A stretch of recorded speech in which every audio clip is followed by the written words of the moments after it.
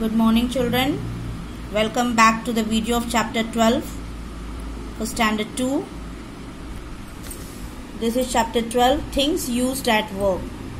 We can see many people around us farmers, bakers, postmen, tailors. They every one of them use some tools for their work. In this chapter we will learn what tools they use for them we have to match the pictures the tools. We know what tools they use. Now we have to match the pictures with them.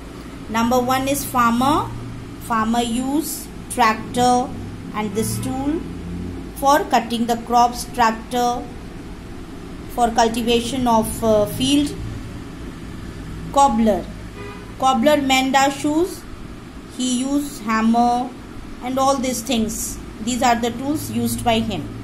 Baker Baker use oven gloves to make to bake cakes, biscuits. Tailor.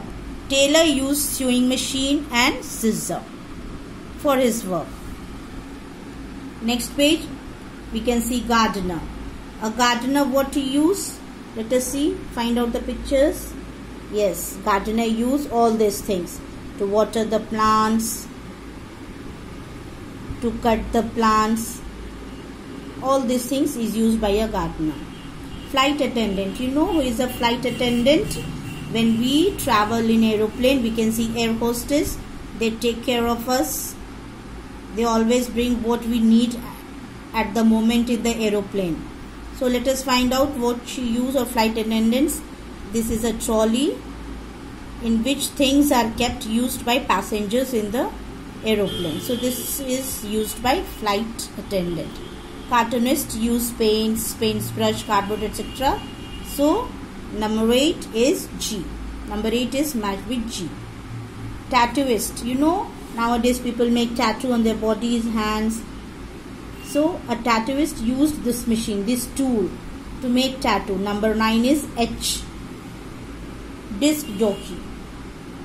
Disc jockey. He is a kind of a musician. He play music in discourse. So what things he should use? He use headphone, CD, discs to play music in the discourse. Thank you.